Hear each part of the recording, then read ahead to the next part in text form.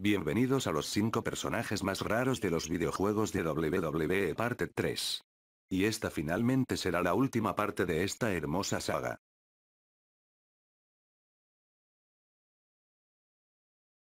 Mira. Ah, eso no es tanto.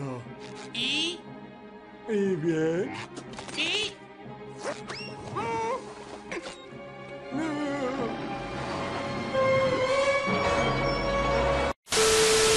Bueno, una de las mejores series del canal se niega a morir. De paso anunciar que ya está la lista de los personajes que saldrán en la parte 7, y una posible segunda parte de los juegos independientes se está considerando. Es así como hoy, veremos la sexta parte de los 5 personajes jugables más raros en los juegos de WWE.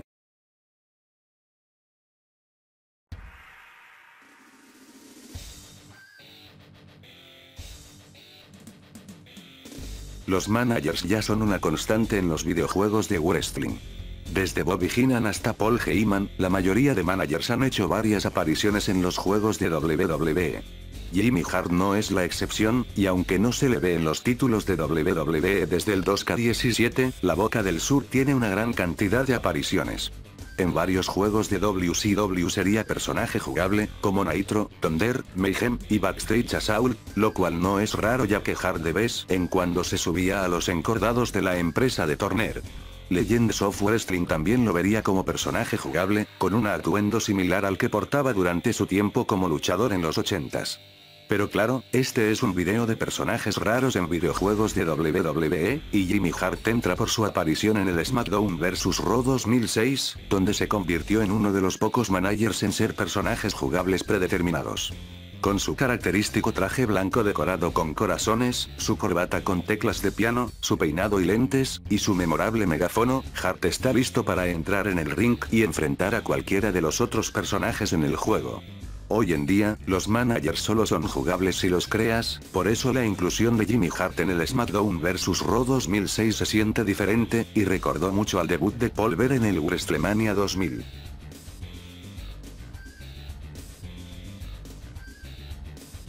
WWF Warzone, además de ser el primer videojuego en 3D de la empresa, tiene pocos personajes, pero en su mayoría son bizarros. Anteriormente vimos la apariciones de Sue y Pamela, las primeras mujeres jugables en un juego de WWE, y Turok, el cazador de dinosaurios protagonista de su serie de juegos. Estos opacaron a otro extraño personaje jugable, el entrenador. Mucho antes de que Red y Green pasaran de ser muñecos de prueba a personajes jugables, Doom ya lo estaba haciendo en el WrestleMania 2000, y un año antes de que eso sucediera, el entrenador lo iniciaba todo en el WWF Warzone. Este fue un luchador ficticio que apareció en los juegos de wrestling de Acclaim. Fue modelado por el probador de juegos, Yellow Jeff Robinson, y originalmente fue creado para ser un compañero de entrenamiento en el WWF Warzone. En este juego, tendría el mismo conjunto de movidas del British Bulldog. A pesar de que el modo de entrenamiento se eliminó en el WWF Attitude, el entrenador hizo su regreso como parte de los personajes secretos del juego, solo que ahora sin el modo de entrenamiento, el tipo se ve que subió unos cuantos kilos y cambió su atuendo en el ring. Cuando Acclaim dejó de hacer juegos para WWF, esta se hizo con la licencia de ECW, lanzando dos juegos, Hardcore Revolution y Anarchy Rules, y en ambas entregas, el entrenador hizo sus últimas apariciones, convirtiéndose en la mascota de Acclaim en los juegos de wrestling.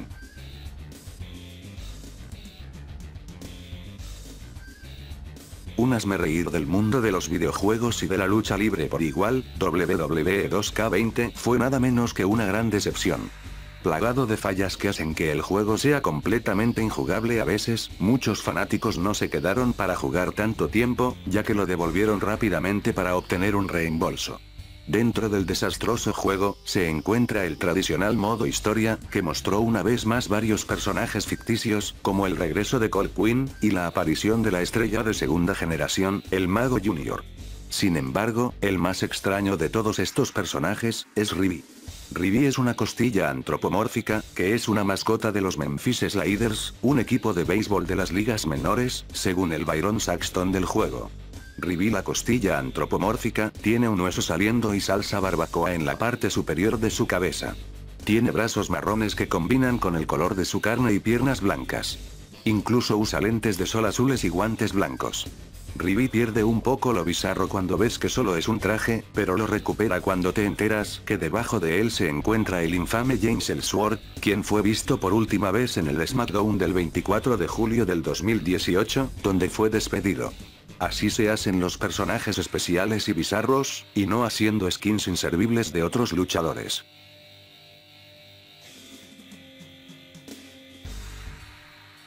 Immortals, fue un gran juego de WWE que lastimosamente, se quedó como un exclusivo para dispositivos móviles desarrollado por NetherRealm Studios, y distribuido por Warner Bros. Interactive Entertainment, sería lanzado en enero del 2015, presentando a las superestrellas con aspectos especialmente llamativos, en batallas similares a Mortal Kombat, cosa que no era de extrañarse ya que fue desarrollado y distribuido por las mismas empresas que publicarían la décima entrega de Mortal Kombat un par de meses después.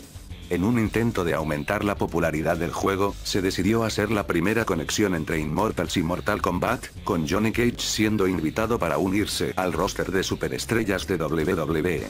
Johnny Cage, al igual que todo el roster, tuvo una versión alterna, ambas conservando su característica personalidad burlesca, pero no llevándose con él la brutalidad vista en los juegos de Mortal Kombat.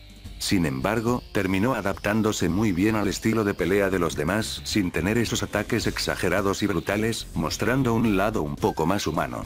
Este fue uno de los mejores cameos de Mortal Kombat desde que Raiden estuvo en un Real Championship 2 para Xbox en 2005.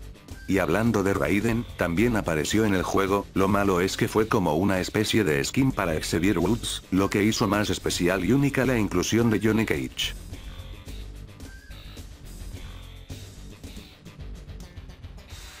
WrestleMania 19 para GameCube es sin lugar a dudas, uno de los títulos más infravalorados en la historia de los videojuegos de WWE. A diferencia del juego anterior y de otros juegos contemporáneos, WrestleMania 19 no presenta un modo carrera convencional en el que los jugadores controlan a un luchador en particular en una serie de luchas, buscando ser el mejor en el elenco. En cambio, el juego presenta el modo Revenge, donde después de ser sacado de la arena, tendrías que vengarte de Vince McMahon, haciendo el caos suficiente para arruinar la decimonovena edición de la vitrina de los inmortales.